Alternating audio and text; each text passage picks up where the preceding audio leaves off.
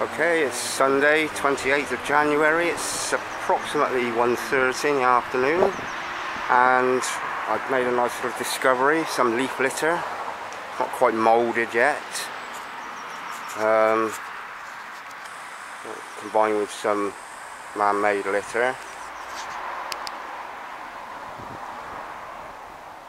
So that could be cleared up, but um, like I say, I've made this little discovery. It's only up the road from the allotment. I'm desperate for fibre to break up the concrete clay that I've got. And uh, this is it. I've got a,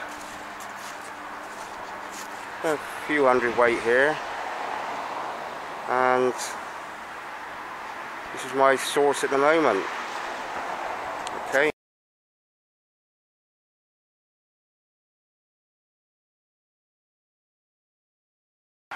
Okay, it's 2.15, that's about three quarters of an hour. I've got, um, probably got about 100 weight and a half, 200 weight of leaf litter.